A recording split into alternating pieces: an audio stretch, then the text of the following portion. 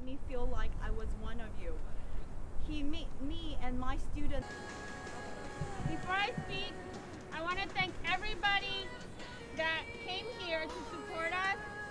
Um, everybody that comes here every night at 7 o'clock to clap for us and thank us for our service.